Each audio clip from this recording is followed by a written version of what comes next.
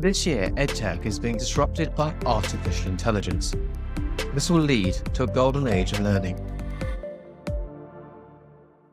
The media is abuzz with excitement about artificial intelligence. But is the hype justified? Will AI take away our jobs, or will it make our lives easier? Just how will it affect EdTech? The hype around AI is indeed justified. Anyone who's used AI driven tools can attest to the incredible power of artificial intelligence.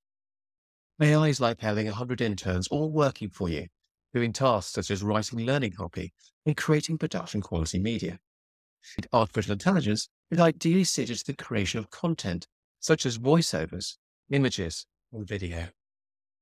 Indeed, my company, Open eLMS, has produced a product that creates e learning from a single line of text in just seconds.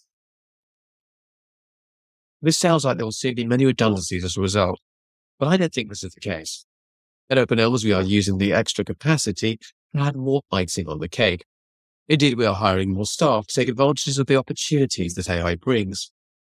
The additional time allows us to add micro learning and tailor the learning experience for each client's needs.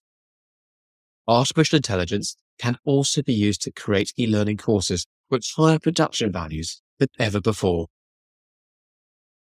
AI will revolutionize the way we learn, teach, and access educational resources. AI powered technologies can be used to create personalized learning experiences, provide targeted instructional support, and create adaptive learning pathways. Can you imagine a future where a student requests a curriculum on any given subject and high quality interactive media is produced tailored for each student's needs? That future of EdTech is here now. Watch out for it.